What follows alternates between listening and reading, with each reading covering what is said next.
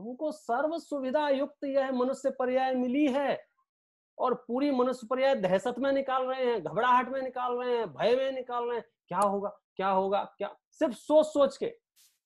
भाई साहब हम जितने भी त्रस्त हैं अपने परिवार वालों से सास ससुर से बहुओं से दोस्तों से इतनी बड़ी मिसअंडरस्टैंडिंग है। अभी मैं एक केस स्टडी कर रहा हूँ। हर आदमी अपने परिवार अपनी समाज अपनी कम्युनिटी इनसे बहुत त्रस्त है। अगर छह लोगों का परिवार होगा तो कोई ना कोई दिमाग में नाम होगा ये अगर घर में नहीं रहे तो बहुत शांति रहे। समाज में होंगे वो कहेंगे समाज में अगर ये दो आदमी मर जाए ना तो समाज में शांति मिल जाए। मोहल्ले में होंगे तो मोहल्ले में ये दो ये, ये दो घर नहीं होते तो बहुत रिलैक्स रहता। मतलब ऐसी कल्पना है हमारी। मैं सच कहता हूँ पूरे विश्व के मनुष्यों को असॉर्ट करो वो उसको क्या करें फ़िल्टर लगा के फ़िल्टर चल, चलनी हो नहीं चलनी बड़ी चलनी में छानो। और बड़ी चलनी में छान के जो दी बेस्ट लोग होंगे, जो कम से कम हिंसा करें, कम से कम झूठ बोलें, कम से कम चोरी करें, कम से कम कुशील करें, कम से कम परिग्रह रखें, ऐसी भावना वाले वे लोग हैं हम। 99 परसेंट तो चलनी में से बाहर निकल जाएँगे, जिनके जीवन में हिंसा बहुत है, झूठ बहुत है, चोरी बहुत है, कुशील बहुत मैं अपने घर को देखता हूँ ना मैं आप, मैं यहाँ बैठे दावा कर सकता हूँ, आपके घर में दी बेस्ट फैमिली मेंबर हैं आपके जिनके बारे में आप उल्टा सीधा सोच रहे हो।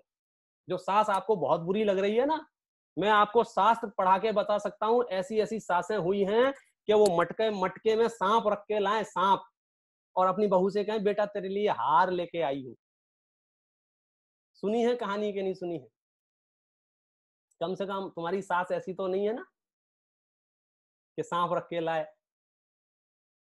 क्या बात कर रहे हो? वो गलती से एक दिन में खुल गया था वो कौन सा आता है यहाँ क्राइम पेट्रोल और सावधान इंडिया। और पर, पर हर तीसरा आदमी एक दूसरे को ऐसा लगता है मारने को ही पैदा हुए हैं ये।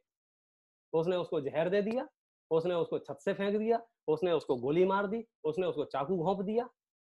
मैं ये कहना चाह रहा हूँ कि हमारा परिवार हमारी समाज हमारा मोहल्ला दी बेस्ट कम्युनिटी है। आप स्वप्न में भी अपने परिवार के लोगों पर शक करना छोड़ दो।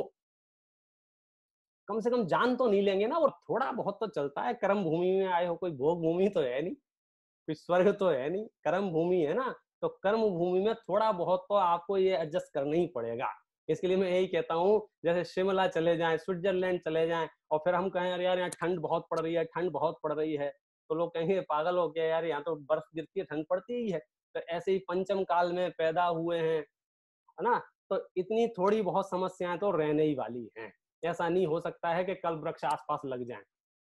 ये कह रहा हूँ, अपने दिमाग से भ्रांति निकाल दो। यदि हमारे आसपास देवशास्त्र गुरु हैं तो हमसे इससे बढ़िया परिस्थितियाँ और कुछ नहीं हो सकती हैं।